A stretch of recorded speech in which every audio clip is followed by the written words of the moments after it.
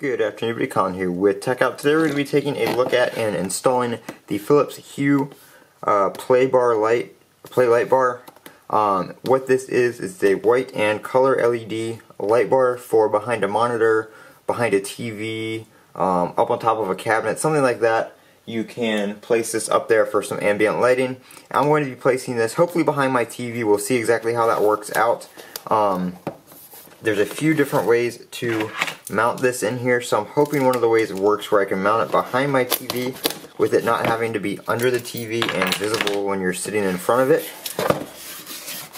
Um, so this, they do sell these in two packs I believe. Um, tells you right here what you need to get started. Um, I already have uh, a Hue system, so I already have my Hue bridge connected to my router, all that kind of stuff is set up. Um, so there is all that. Um, just some more user manuals and stuff right there. Um, here is the light bar itself. Um, so it's got a couple different mounting points on there. It's got two different ones. We'll take a look at this in a second. I'm going to put that off to the side.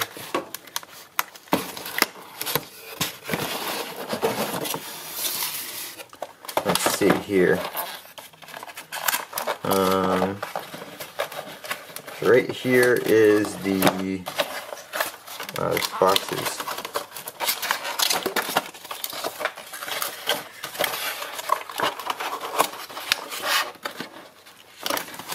so we've got uh, some adhesive, so that's what I'm hoping to use for the TV. We've got a little screw and an Allen wrench right there.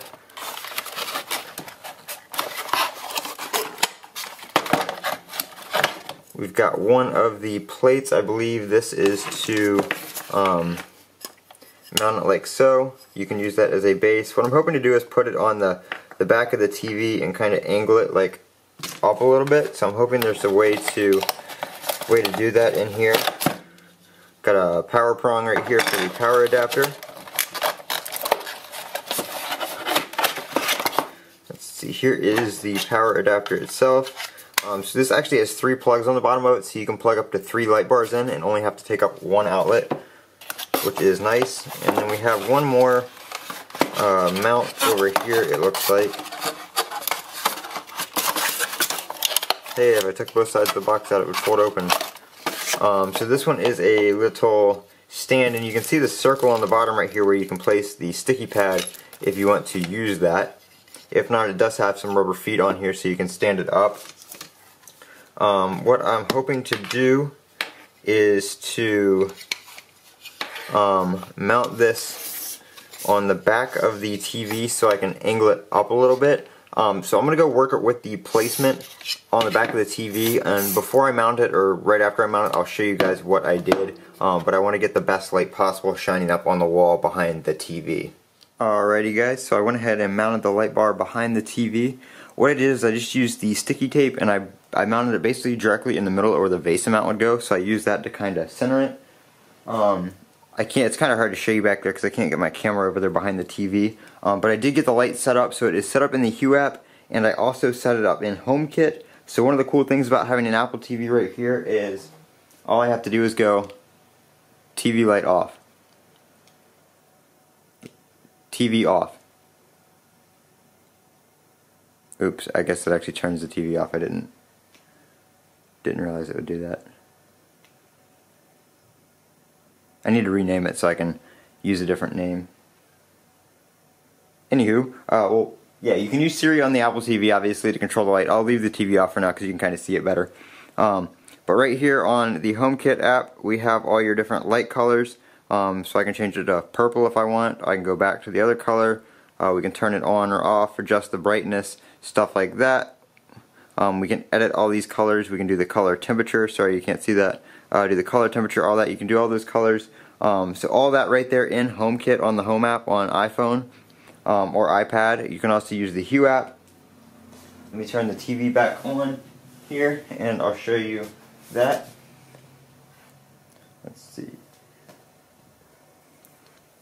As you can see, this is the new Apple TV. I got the 4K with the Dolby Vision. Office TV off. So there we go. It's called Office TV, so that's what the light's called. Office TV on. Office TV blue. Office TV purple. Office TV neon red. And another one. Office TV red. Office TV yellow. Office TV white. There we go. So we're back to the white light. Office TV orange.